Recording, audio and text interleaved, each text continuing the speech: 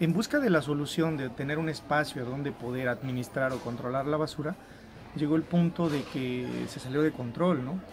Y pues a, tal nivel que pues ha sido un problema de generando focos de infección, de rebase de poder extraerla, de control de, de quién tiene derecho y no tiene derecho de tirarla, a tal punto de que pues se ha generado un problema muy grave, ¿no? Tanto en el desborde de, de la basura, en la misma calle, eh, el interior del mercado, o sea, un caos, la verdad fue un caos.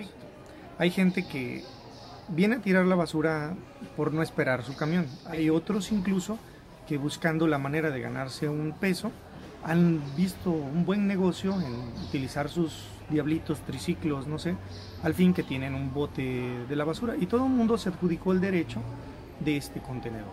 Entonces, eh, la extracción de la basura llegó a ser tan lenta. Mira, se buscaron muchas formas. Una de ellas era tratar de, de reglamentar, de ver quién tenía derecho, quién no, poner a una vigilancia, incluso se puso un velador nocturno para regularlo de, de esa manera. El problema es que mientras nosotros medíamos o tratábamos de, encontrarle una solución, el problema cada vez iba creciendo, ¿no?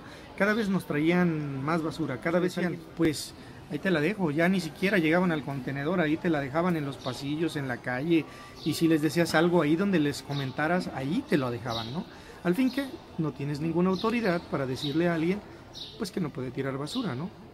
Eh, inclusive con toda la autoridad, yo he visto que le hicieron eso al inspector, al, mismo administrador, a cualquiera de nosotros como comerciantes, en acuerdo con el ayudante municipal, en acuerdo con las autoridades municipales, este, se ha llegado a esa conclusión, retirar el contenedor, eh, poner la vigilancia adecuada, comunicarle a los ayudantes, yo creo, de, eh, de, las colonias vecinas, pues de que solucionen su problema de basura y pues nos dejen en paz un poquito a nosotros. ¿no?